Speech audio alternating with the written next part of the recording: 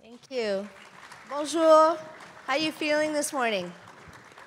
Yeah, how about waving your hands in the air like you care? Woo! Awesome, thank you.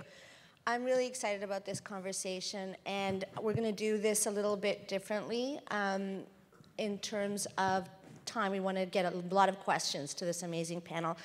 So instead of asking them for their bios and their organizational names um, or, or, reading their bios, I'm, I'm asking them uh, three hard questions right from the top. Who are the people that your work supports? Where are those people located? And number three, what strategies do you do, uh, do you deploy to uh, support those people? How about we start at the end, Julien? And make sure you have your transceivers, because this will be bilingual. I'm going to be speaking in French, so just uh, if you need the, uh, the equipment, it's somewhere in the room. Euh, alors, merci pour la question. Euh, donc, si je reviens sur, sur ces différents points-là qui ont été abordés, donc les personnes qu'on qu appuie, ce sont tout simplement les communautés euh, à travers l'Ontario. Notre organisation, on a six bureaux. On essaie d'être vraiment une organisation qui est enracinée à travers la province pour travailler justement au mieux possible avec ces communautés-là. Comment est-ce qu'on développe ces groupes de personnes-là? Souvent, c'est en leur faisant prendre conscience qu'il y a des choses qu'on ne sait pas et il faut savoir identifier les choses qu'on ne sait pas et peut-être on peut amener un fragment de connaissances supplémentaires à ces personnes-là, surtout autour de la prise en considération du fait euh, qu'il est possible de changer les choses lorsqu'on a euh, les ressources, les outils, euh, le matériel nécessaire pour changer les choses. Et dans certains cas, on peut amener euh, ce matériel nécessaire. Awesome. And um, remember that these fascinating people, their bios are all on, in your kits, they're online if you want to learn more about them. Julien Geremie. Let's go to you now, uh, Priyanka. Um, tell us, uh, Priyanka Lloyd, um, how do you do your work? Where, where are your people? Yeah, hello, everybody. Uh, so, we are a national nonprofit uh, with a mandate to support communities and businesses across Canada.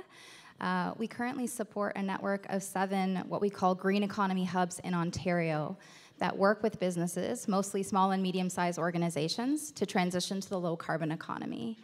Uh, the way these hubs do that is work with these local businesses to measure their environmental impacts, set long term reduction targets, and publicly report on progress.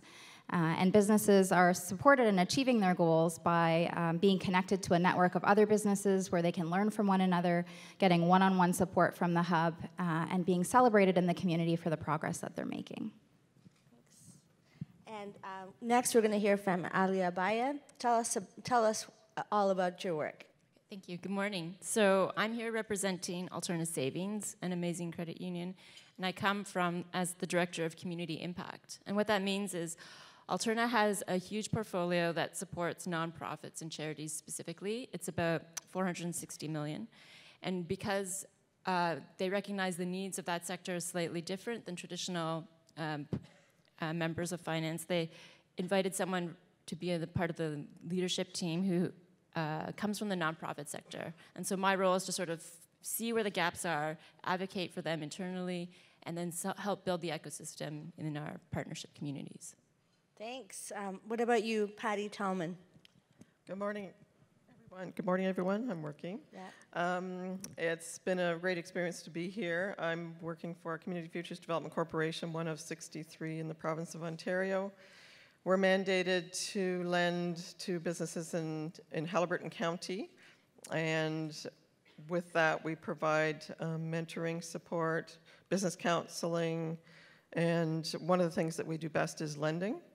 Um, we also provide support to not for profit organizations in different avenues. One of the biggest things that we do, which is very important to our community, is um, provide non repayable contributions as grants, as a lot of people would refer to. Um, also provide them with um, consulting services, guidance, strategic planning, and strategic planning in the communities, and one of the focuses is job creation in our county. Great, so I think you can see what they've done here. Uh, 21st century leadership on the stage, um, a diverse group uh, playing important roles in building up the sector. Um, I want to uh, just, you know, unpack the description. We're talking about innovation, we're talking about 21st century leadership. So just to use a tweet form um, and something that you can all tweet out after you, uh, you hear these responses. Um, tell us in the length of a tweet. Like, what do you mean by innovation and how that for you relates to leadership? And I'm just going to get people to volunteer themselves to answer this one. I'll go. So, um, focus on making businesses, organizations, and communities more adaptive, effective, profitable, and sustainable by creating new wealth, new jobs, and contribute to economic advancement. Awesome. And use the hashtag EconoUs. Go ahead. so, for me, I, I, really enjoyed this question. Like, I think uh, innovation is about experimentation, trying new things, and most importantly, taking risks, being creative, and then, of course, safe space to fail so you can learn from those uh, challenges. Thanks. Bianca? Yeah, really similar. Uh, to me, innovation is about finding new and effective ways of doing things. It relates to leadership in that both require an interest in changing the status quo and embracing failure. Euh, pour moi, l'innovation au niveau du leadership, c'est euh, de transitionner d'un leadership qui va être plus perçu comme individuel vers un leadership qui va être collectif. Selon moi, le leadership collectif, c'est un leadership qui va engager les personnes euh, parce qu'on peut percevoir souvent le leadership tout seul comme étant potentiellement dangereux euh, si ça enlève le pouvoir à d'autres personnes que celui qui le prend. Great. So we're starting to get a picture here. Um, there um, is risk. There's the, the willingness to fail. And there's a relationship between the individual and the collective action, um, experimentation. And so, with these tools, with, with this sort of like toolkit for leadership, be great to get a, like a picture. If you could paint a picture of the kind of change that you're trying to like build in the long term for us, um, I think we could, because you have such you sit in diverse uh, spots, we could really start to paint a picture of what our collective future might look like. Who's, who wants to volunteer to give us a picture first? Julien? Donc, je pourrais me lancer à l'eau. Euh, donc, selon moi, le thème aussi de, de la conférence de, de, ce panel, euh, le leadership au 21e siècle, une des premières questions qu'on devrait se poser, c'est c'est quoi le leadership du 20e siècle? Parce que si on veut élaborer sur qu'est-ce qu'on fait de bien aujourd'hui en 2019 et qu'est-ce qu'on pense faire de bien euh, au courant de ce siècle-ci, on doit se poser la question qu'est-ce qu'on veut changer par rapport à ce qui se faisait avant? Selon moi, il y a plusieurs éléments qui nous apparaissent comme naturellement des choses qui sont à changer. Par exemple, on peut percevoir le leadership du 20e siècle comme un leadership qui va être très hiérarchisé, où on va avoir une personne qui va être au sommet, qui va donner des commandes à d'autres personnes, et ces personnes-là vont simplement répondre à la commande. Ceci, au 20e siècle, était conçu peut-être comme du leadership. Aujourd'hui, on voit plus ça comme étant de la direction hiérarchique. Alors, comment est-ce qu'on fait pour changer ça? Une des façons que je vois, puis je l'ai mentionné dans mon précédent point, euh, c'est de voir comment est-ce qu'on peut stimuler le leadership collectif au sein des personnes. Et ce n'est pas un exercice qui est facile parce qu'il y a des personnes qui naturellement vont se raccrocher à des personnes qui vont avoir euh, une motivation ou qui vont être des locomotives dans certains projets. Pour leur faire prendre conscience de ceci, selon moi, c'est de regarder quelles sont les compétences des différentes personnes qui sont les parties prenantes et de miser sur ces compétences pour faire prendre conscience aux personnes que chaque compétence est nécessaire à l'avancement d'un projet, d'une initiative, d'un programme ou tout simplement du développement d'une collectivité. Leadership collectif, pour moi, en ce sens, c'est clé. Euh, donc, encore une fois, de voir comment euh, on développe et on élabore sur le leadership des différentes personnes et pas seulement son propre leadership. And we should be conscious of the generational question here too, something that you raised before. Do you want to just uh, tell us, tell everybody how you responded to this idea of 21st century leadership when we had our pre-meeting? C'est vrai. Donc, effectivement, on a eu, on a eu une rencontre préliminaire avant ce, avant ce panel. On a eu l'occasion de discuter par téléphone avec les différentes personnes ici. Puis, une question qui, qui m'est apparue comme essentielle, c'est de dire, mais moi, dans ma génération, le seul leadership que je connais, c'est le leadership d'aujourd'hui, c'est le leadership du 21e siècle. Ce qu'on décrit ou ce que je perçois comme étant le leadership du 20e siècle, qui est selon moi peut-être un peu toxique, un peu, euh, un peu différent, euh, c'est pas quelque chose que j'ai jamais eu à vraiment expérimenter. Et donc le leadership que je construis avec mon équipe, que je travaille dans les communautés, c'est un leadership qui selon moi est euh, justement implanté dans le 21e siècle. C'est la seule chose que je connais. Yeah, so get ready for generational change, everyone. Um, who, who would like to go next with a picture of the possible future that we're working for? I'll go.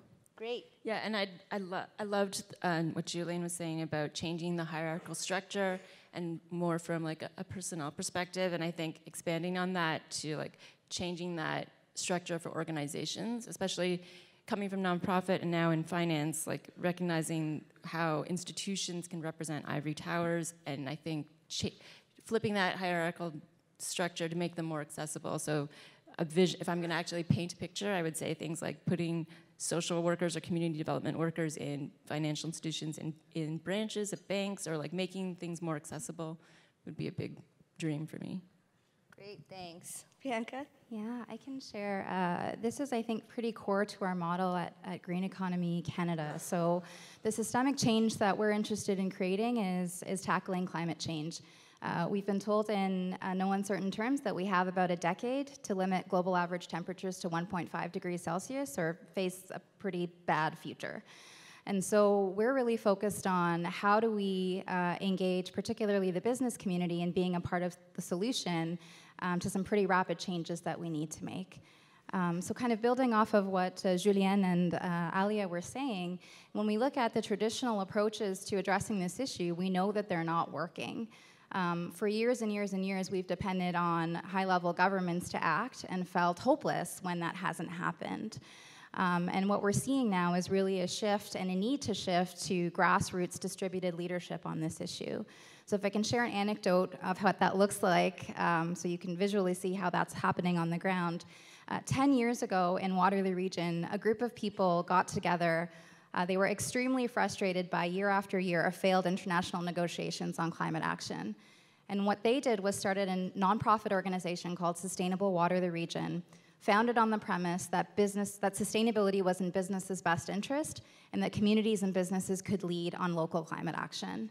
And so they brought together the municipalities, the academic institutions, the private sector, civil society, and talked about how they could co create a local solution to get businesses voluntarily setting emissions reduction targets and reporting on the progress. That program, the Regional Carbon Initiative, is the foundation of the program that we're trying to scale across Canada. It is a social innovation. And in five years, that program had engaged the equivalent of 14% of the local workforce in voluntarily setting and achieving these targets and reporting back on progress. And why this is such a really a neat example of the value of sort of grassroots leadership is that while this initiative started with sort of one very concrete goal in mind, we need to get uh, emissions reductions, it had so many co-benefits. So these businesses that were a part of this network now had built trust and partnerships. They were now sharing and learning.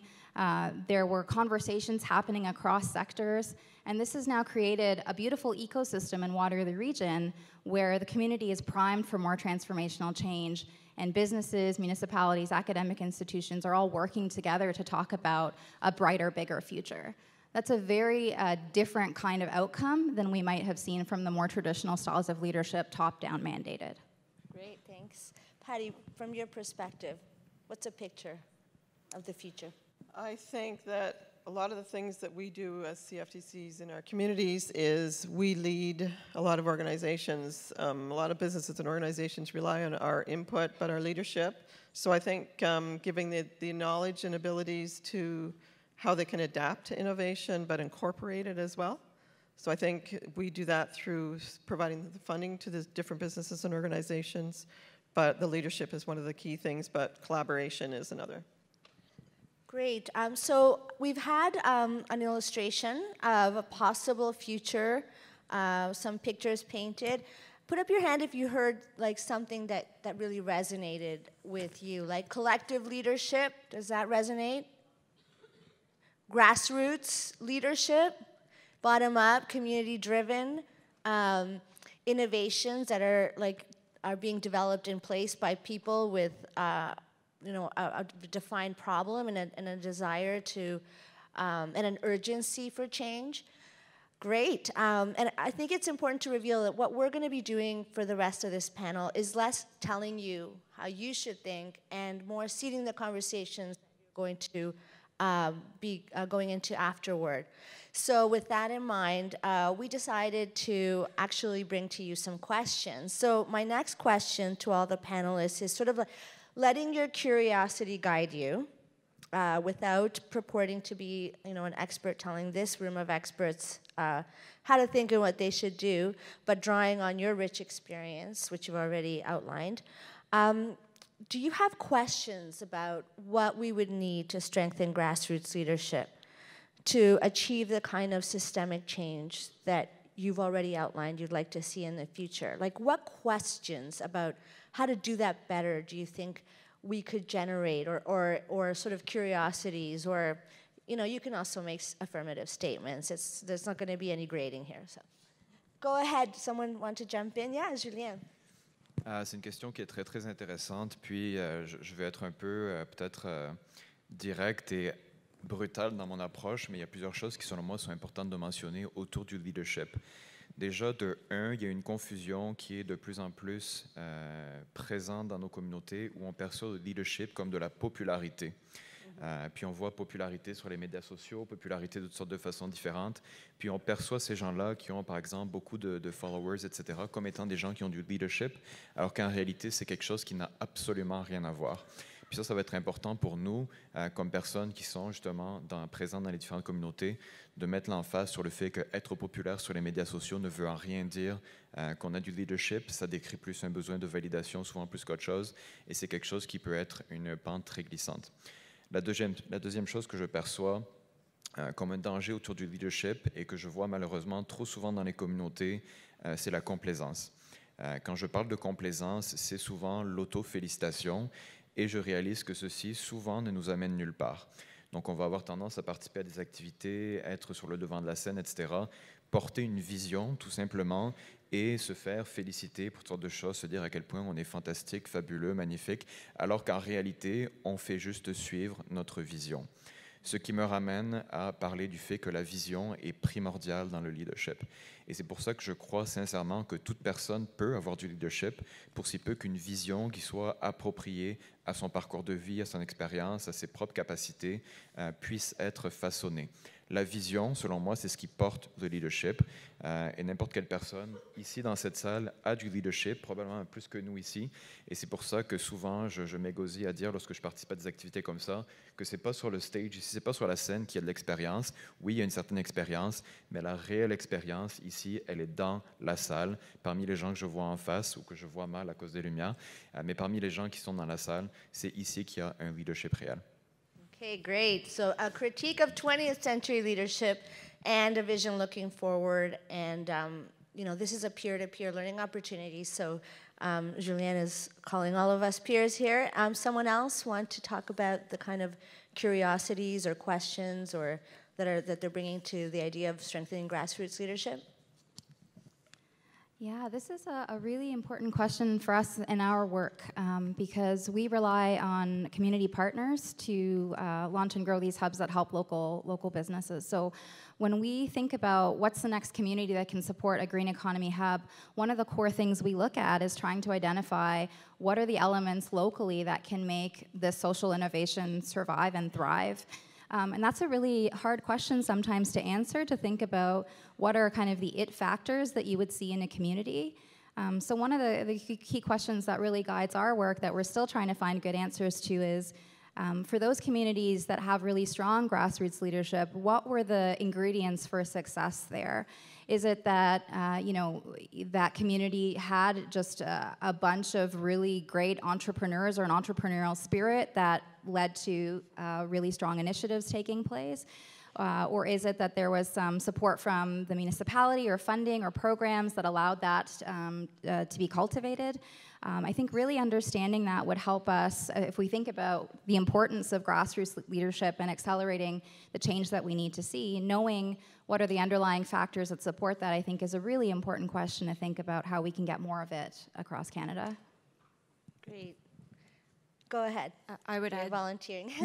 some some questions that I would pose would be, how do we continue? And I always go back to this, like making a safe space. Maybe it was my time in the nonprofit sector, but how do we create this safe space for people to test things. I think so similar to what Julien said, like breaking down the idea of experts or thought leaders. I mean, that's really popular right now, but putting that back in the you know the, the common or the people and and having opportunities for them to speak up. How do we create that moving forward?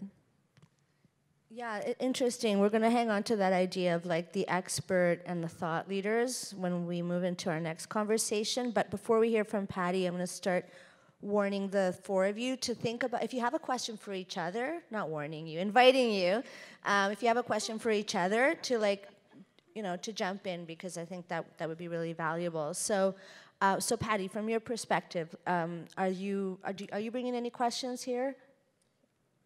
No. I was more interested. I was more interested in what you guys had to say about this because I did not delve into this question and Yeah. sort of, but I was more interested in what you guys had to say about this, which was very informative. Um, being leaders as we are, um, I think this gives us some thought perception on how we can certainly continue to lead and be innovative. Yeah, I think that it's a kind of a hard question, right? So we're we're trying to open up space for grassroots leadership. Um, having, if we had all the solutions, it would probably sort of be already seated. And it's really it's really great that you had, like, that you wanted to hear from your co-panelists. And I think uh, uh, Alia might have something to Yeah. to. That just reminded me. I remember in our in our previous pre-discussion, it came up that someone had said, maybe it was Michael, had said, um, "Where do you see yourself in the movement? Like, think, uh, where do you see yourself? And that could be you, your, as an individual, your organization, the, your sector. But where do you place yourselves when you do like a bird's eye view in in the movement of what we're trying to accomplish?" And I thought that was so interesting because I don't often take the time to consider that perspective, and so that might be a good question to pose to the group. Yeah, and for maybe for like going forward, like we're all different kind of movement actors. We have different roles, different functions, but wow, when you add it up together in a room like this, it's mu- it's multiplies in its power. Um, so, following up on that, um, there's also the kind of like leadership that happens within organizations and within um, the general community of organizations or the community of interest that you operate in. So, how do you um, cultivate that leadership? Um, how do you support the people that are emerging, um, that are around you? Is that a practice of yours? Anything to share around that? Yeah, go ahead. We um, hold a strategic planning session annually with our board of directors. And the nice thing is that our board is very active in our communities and their respective communities. So we have broad representation from all over the county. Um, giving them the ability to be able to lead in the community, uh, act on behalf of the corporation, is beneficial for us as a leader. We work with not for profit organizations, assisting them with str- strategic planning processes. Um, we have staff that sit on municipal committees that help them strategize as well as the end result is often our staff will submit or fill out on their behalf um, applications for funding. Some of our board members, I say, are heavily involved in different facets of the respective communities, but that creates the awareness of our organization and what we do, and hence increases our ability to help the business community and not-for-profit organizations in our, our area. Great, thanks. So the network is really powerful. It sounds like. Um, anyone else?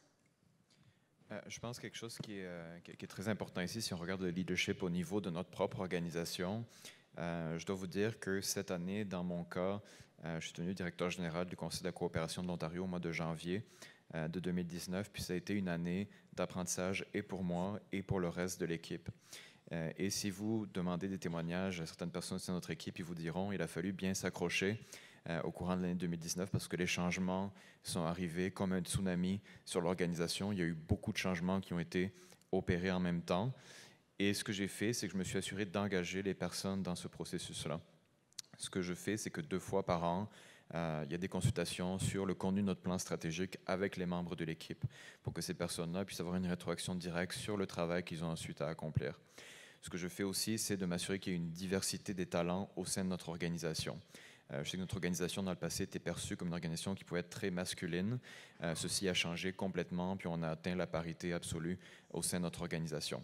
De la même façon, j'ai peuplé notre organisation de personnes qui, parfois, n'ont pas des personnalités qui sont compatibles avec la mienne, parfois n'ont pas des personnalités qui sont compatibles entre elles, mais je m'assure que les éléments de notre plan, qui est un plan qui porte une vision de toute façon, puissent être répondus par les meilleures personnes pour y répondre. Et dans certains cas, ce sont des personnes qui ont une diversité de connaissances qui va être euh, telle que ça peut créer des conflits à l'intérieur de l'organisation qu'il faudra régler de par après. Et c'est quoi le résultat de diversifier l'équipe? Euh, dans le travail, avancer la mission? C'est quoi l'effet? L'effet, tout simplement, c'est d'avoir différentes perspectives. C'est de réaliser, puis ça, c'est à n'importe quel niveau de leadership qu'on ne connaît rien. Et à partir du moment où on sait qu'on ne connaît rien, on dépend de la connaissance des autres personnes pour avoir un fragment supplémentaire de connaissances. Et la raison pour laquelle je me suis doté d'une équipe, puis je, dois reconnaître que l'équipe que nous avons dans notre organisation à l'heure actuelle est la plus talentueuse qu'on a jamais eue dans l'histoire de notre organisation, c'est parce que je sais que ces personnes-là apportent toutes une variété de connaissances, une variété d'expertise, une variété de parcours de vie et de façons de faire qui sont uniques à elles-mêmes et qui sont ce qui fait la richesse de notre organisation. C'est la diversité des talents qui est à la base de la richesse de notre organisation et qui nous permet d'atteindre la vision que collectivement nous avons définie. So uh, intentionally diversifying the staff team, having like paying off for being able to deliver on your on your work on your mission. Um, anyone else? Go ahead, Priyank. Yeah, I was uh, going to say so. I think diversity of perspectives is really important in recognizing that people need, need to be engaged in different ways based on their backgrounds and their perspectives. Not everyone will contribute in the same way if approached in this, uh, in th- through the same approach. Um, so, would strongly support all of that. I think there are two key things that have worked um, really well in our organization and that I see as pretty critical as we're thinking about community based leadership. So the first is understanding our bubble and knowing how to step outside of that. So whether that's in our own organizations, only talking to the senior leadership team and never asking the people actually doing the frontline work what their experience is, what they think, how we should solve the issue, or at the community level, you know, talking to the same five organizations who show up at every meeting to address whatever issue there is in the community. If we don't actually start reaching out to the people uh, that our work impacts, um, our stakeholders, and um, having an honest dialogue, um, being willing to listen to what's working and what's not, um, and showing that their voice matters, um, we're not going to have their voice in decision making. And my experience is that people don't always need to feel like they are right, but they need they do need to feel like they are heard if they're going to want to engage again. Um, the second thing that I have learned is that we really need to remove a fear of failure within our organizations and within our communities. Um, if people feel like they're going to be shamed or blamed or that they're going to be told that they're doing something wrong, why would you ever speak up? Uh, why would you bother doing anything other than the exact thing that you're asked to do? Um, so to the extent that uh, which you know we can celebrate the process, celebrate people raising their voices, working together, um, and be willing to take on smart risks, um, be okay with failure, I think that's going to do us all uh, a service in building more effective and engaged teams and in helping to uncover solutions that we need to solve these really big problems that we have. Great, thanks. Go ahead. Sure, I think we can definitely see that there's some themes here about like um, encouraging voice and expression and having diverse uh, perspectives on the same team.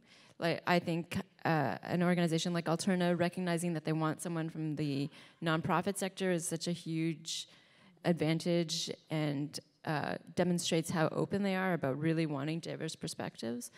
Uh, and for, um, something that's worked, um, well, one of the best pieces of advice I got for me developing my leadership from my boss was he was like, make some noise. And I was like, that's amazing. Yeah, like just it's so simple, but just like giving me the the inspiration to do that and, and interpret that whatever way. I think I'd love to do that for other people.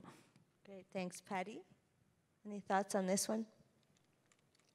I'll add to what um, interesting that you said is talent, talent in your team. Um, I'm very fortunate to be surrounded by a, a really good team of staff, um, but the board of directors really adds to that as well. So I just I wanted to note that comment that you said. So we've heard um, some sort of clues: um, vision first, um, willingness to risk, uh, willingness to experiment, and a high tolerance for failure. Uh, diversifying the team to get the best perspectives, also diversifying the voices that you're hearing, um, listening to the frontline uh, staff in your work, and um, also reaching out to the community and not the same actors or the same groups. How's that sounding?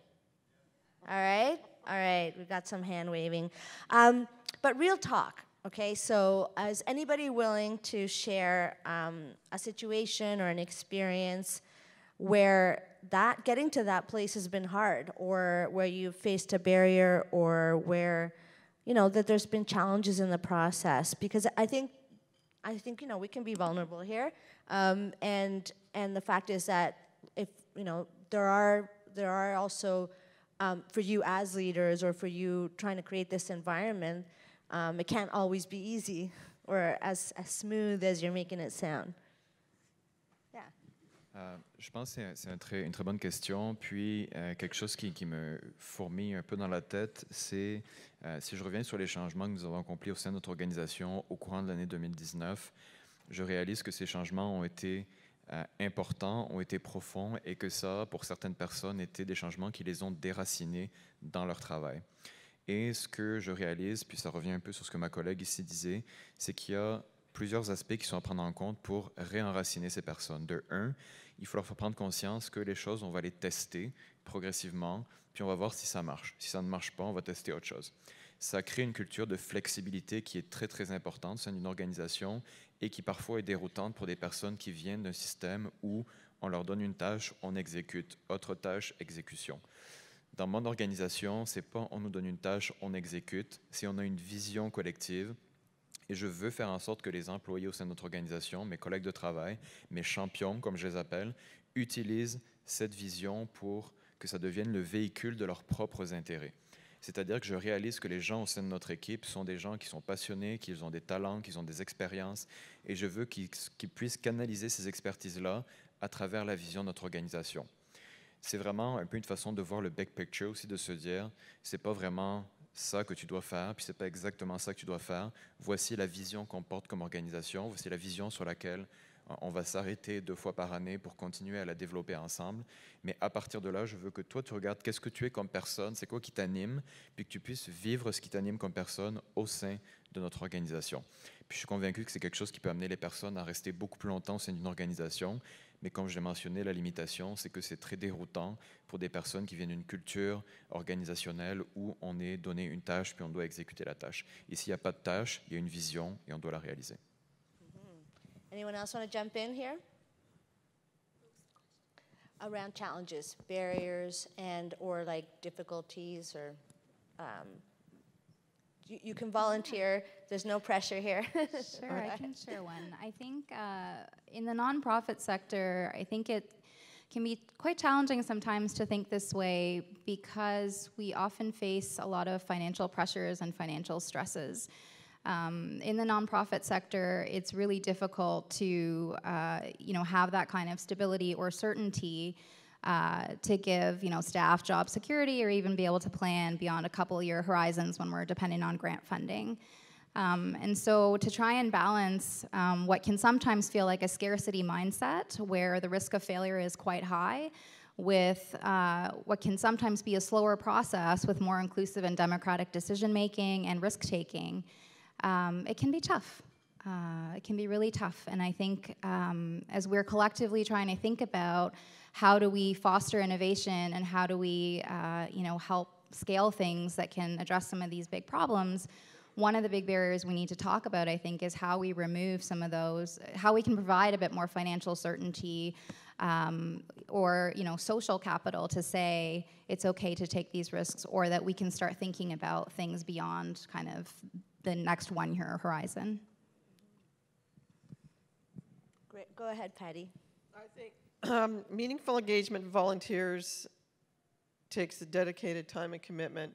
I think providing our board and our staff with the ability to learn, training, er, keeping them involved, it's, it's important to keep them engaged. And that's, I think, just keeping that up, yeah. but that being committed to it. Yeah, so you're already talking about um, sort of democratizing who has a role, um, like talking about uh, decision making you're modeling um, in your organization and your community um, how to lean into a different kind of leadership. You're engaging um, people from the board to the volunteer level uh, and with the staff. Um, so, so that like takes us to I think um, sort of like a future-looking, outward-looking uh, question around uh, building even more space for leadership. Like if we were to um, democratize, make more democratic and inclusive decision making in general, in say in community economic development, in the sector, in and the communities um, in which uh, everyone's operating. like how would we have to do things differently? Now, not just in your organization, but in general. Um, I also want to highlight, um, as, as you're thinking about that, that you've already talked about where knowledge is kept, and I think that's really important.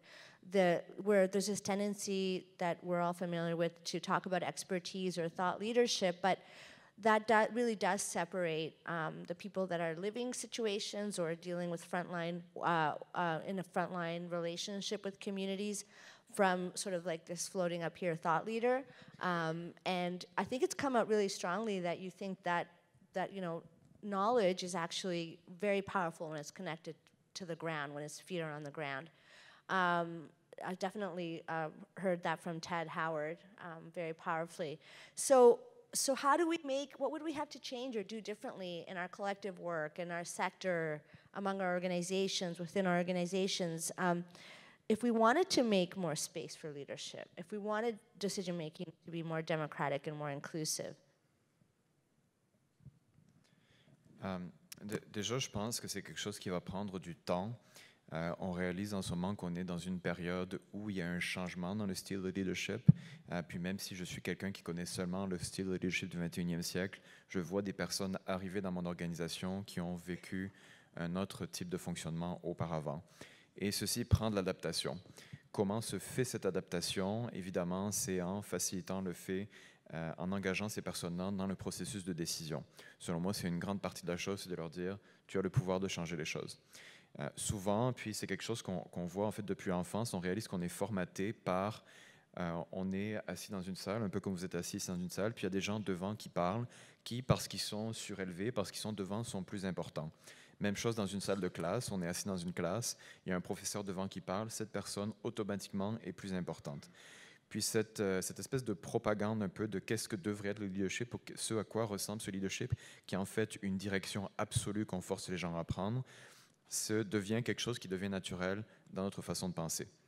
Et je réalise dans mon organisation, il y a des personnes qui constamment attendent de moi que je sois supervision, que je sois la direction, que je sois gestionnaire, que je fasse toutes ces belles choses. Ce que je leur dis en retour, c'est que voici ton projet, voici la vision de ce projet, mets tes compétences pour réaliser ce projet selon tes propres termes. L'essentiel, c'est qu'on arrive à atteindre la vision. Et je crois qu'éventuellement, on va arriver de plus en plus à une, forme, une société en général où on n'occupera pas seulement un emploi parce qu'on sait qu'on va exécuter des tâches, mais on va occuper un emploi parce qu'on sait que c'est dans une organisation où les valeurs qui sont portées par l'organisation concordent avec nos propres valeurs personnelles. Et je le vois chez nous, les gens qui sont là sont des gens pour qui les valeurs de notre organisation concordent avec leurs propres valeurs. Si ce n'est pas le cas, souvent, il va y avoir un départ euh, qui est malheureux, mais c'est des choses qui vont se faire naturellement et que j'encourage parce que je crois que les gens devraient travailler là où euh, leur cœur se trouve. That really resonates with me in the work that I do with um, community and with organizations. That we sort of want to talk about vision first, and we, we sometimes skip the conversation about values or principles for behaving or way of interacting with each other or relating to each other. So um, so I just wanted to, sorry to insert myself um, as a moderator. Um, anyone else? Uh, rapid chase there.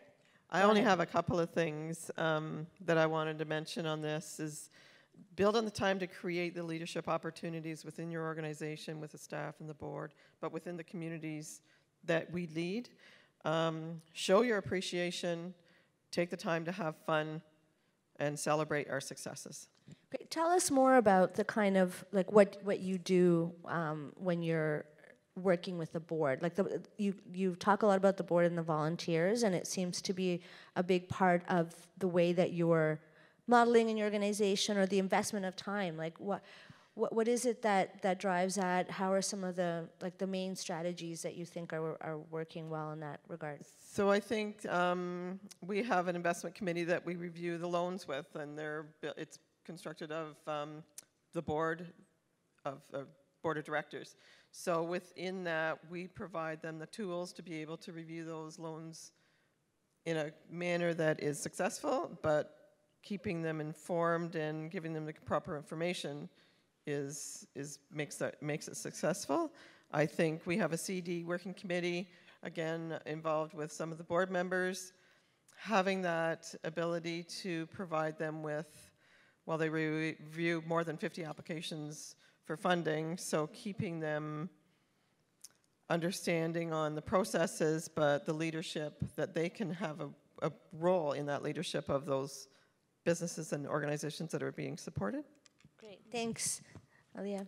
Um, one thing that occurred to me is that as we have more uh, corporations and businesses doing impact and demonstrating their values based, and then we have more uh, nonprofits and charities going social enterprise and, and operating as businesses, we come to this sort of gray space where everybody's kind of doing similar work, but with and, and working towards similar uh, impacts and outcomes, but with like slightly different perspectives.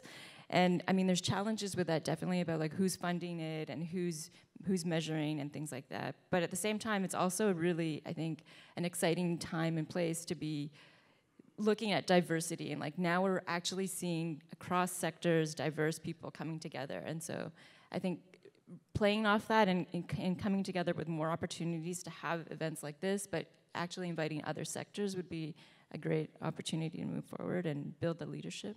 Before i go to you priyanka is working across sectors important to you? Like from like business community um, uh, labor, like, is that an important factor for you? Yeah? They're, they're nodding their heads. S'il y a une compétence, à mon avis, du, euh, du 21e siècle qui est essentielle, c'est la polyvalence. Yeah. Euh, puis ça, c'est quelque chose qu'on voit à travers toutes les organisations. C'est pas juste notre organisation, c'est qu'une personne doit être en mesure de faire une diversité de tâches qui peut-être n'a jamais été vue auparavant. Euh, Aujourd'hui, on s'attend à ce qu'on puisse être bon en communication, bon en politique, bon en rédaction. Euh, il faut aussi être bon sur l'exécution de projets. Bref, une capacité d'être polyvalent qui est devenue essentielle. Yeah, and then the other element that you're raising, Alia, is like behaving or working with organizations that are driving toward the same value base, maybe sharing a collective vision. Are we doing that enough across you know, are, are, like with each other? Should we do that more? Is that a part of the 21st century? Si je peux donner un exemple sur ça, euh, la réponse est oui, euh, selon moi. Puis pourquoi? C'est parce que de plus en plus, je réalise que ce n'est pas toutes les organisations qui sont portées par une vision. Euh, et je donne un exemple fracassant, c'est que parfois, dans des organisations, on regarde où est-ce qu'on peut trouver de l'argent, et après, on va peut-être identifier une vision ou une façon d'exécuter selon l'argent qu'on aura reçu. Aussitôt que je vois ça, je pars en courant. Je veux m'assurer d'avoir en face de moi une organisation qui porte une vision, de comprendre cette vision, de comprendre quelles sont les énergies derrière cette vision. Et si je vois que c'est sincère, dans ce cas-ci, on va s'associer. Si c'est pas sincère et que la vision, c'est avoir de l'argent et peut-être plus tard faire quelque chose, je pars en courant. And Priyanka, you raised the, idea of um, decision making being more democratic. And so, how um, how do we do that? What would we have to do differently? How would we have to behave differently? Going back to the to that question. Yeah, I think there's two elements here. One is, I think, for all of us, just to be mindful of the ways that we are interacting with others and uh, to what extent those interactions are fostering or hampering um, people speaking up and being a part of the process. Um, and I think uh, for me personally, I can say it's been a journey. I don't, uh, I don't know anyone that is perfect at it, but I think if all of us as leaders, um, you know, leaders of our organizations or leaders of our community, can be uh, thinking in that mindset and have an eye to continuously improving and bringing more voices into the discussion, I think things will start to improve. Uh, the question about working across sectors, um, I absolutely think that that is essential. I, uh, there is nothing that any of us work on that is solely, uh, you know, an us issue. Um, everything is interconnected and interrelated. Uh, and if we are not talking to one another and working towards a common vision, um, we're not using our resources effectively, we're not getting to where we need to be. Um, and yeah, we're certainly not modeling the kind of leadership that we need to see in this 21st century. And one group that we don't often think about um, activating or connecting with as a sort of uh, shoulder to shoulder are the people that we serve. You know, the people whose lives we're trying to lift up or improve. Um, you know, is that a piece going forward in the 21st century where people who are currently needing our assistance actually become a constituency that can mobilize a base for like longer term change? Is that something worth considering at this stage? Euh, juste pour réagir sur ça, en fait, il faut faire attention avec le mot assistance ici. Euh, parce que souvent, ce qu'on réalise, puis c'est quelque chose qui, se voit aussi en psychologie, euh, c'est que lorsqu'on va donner trop d'assistance à une personne, qu'on va faire preuve de trop de leadership vis-à-vis d'une personne, on va retirer à cette personne le pouvoir de prendre ses propres décisions. Et donc, de ce fait même, on peut retirer à une communauté le fait de prendre ses propres décisions si on arrive avec des décisions qui sont déjà toutes prêtes. Il y a un exercice qui prend du temps, qui doit se faire. Et je dois vous dire que de notre côté, lorsqu'on développe des coops, des entreprises sociales à travers l'Ontario, on réalise que c'est pas créer des documents constitutifs, c'est pas faire l'incorporation, c'est pas créer un budget qui prend du temps. Ce qui prend du temps, c'est de développer au sein de la communauté une vision commune, un leadership commun, où les gens vont se dire, on a collectivement le pouvoir de faire ceci. Et pour ce que, ce que ça prend pour faire ça, c'est de soi-même se retirer de ce rôle de pouvoir-là, de ne plus de décloisonner, puis de déconstruire le fait que parce qu'on vient de l'extérieur, parce qu'on part sur le stage, on est perçu comme la personne qui a l'expertise. Il faut le déconstruire pour dire je ne connais rien, je suis là pour vous faire prendre conscience à vous dans la salle que vous avez l'expertise et que vous allez très bien fonctionner sans nous. Anyone else?